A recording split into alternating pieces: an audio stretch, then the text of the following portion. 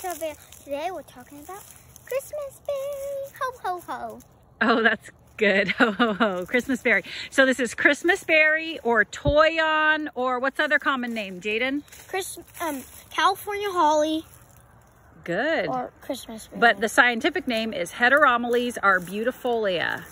Okay, Jaden, tell us about the berries. So they're poisonous. They're poisonous, and they're filled with this. Um, filled with a lot of poison, and and um, you have to cook them like really like a lot because if you if you don't cook them a lot, they can be harmful to humans. But dogs actually don't have a list for dying.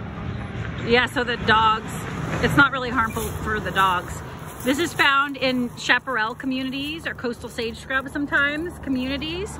And we found this right in, off Oh, and the they're- street. and, and the same. They're the same subfamily as apples, pears, and um. Yeah, so it's a forgot. rose in the Rosaceae family. And um, if you if you boil them like lots lots of times, you can eat them. And you could also make You them. can eat 'em, And yeah. you could make them into a cranberry jam. And they and you when you burn them, they usually they usually taste like um a cherry. But you can't, Similar but you can't eat them raw. You'll get really sick. Yeah, they're they're really, they have poisonous they cyanide. Might, or they might kill you. But this plant's cool because it is named, um, Hollywood was named after it because it looks like Christmas. So Hollywood was named after this plant. Yeah, and so many people, Hollywood, And so many um people ha- harvested it. That so many people harvested it for um Christmas. That um it they it was it was because it was started to become limited. yeah, that's great. Yeah, In- interesting information. So this is what. So when they're young, they're actually poisonous when they're ripe.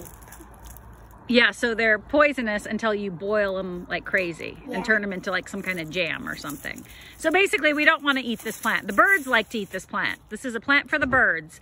So it's Heteromeles arbutifolia, toyon christmasberry, or California holly. And it grows in a lot of chaparral and coastal sage scrub communities. We happen to be right off the side of the road and it's Christmas time. It's getting close to Christmas. It's almost December. So this is such a beautiful plant to see in the winter time with all these red berries. Ho ho ho! Ho, ho, ho. See you later. Bye.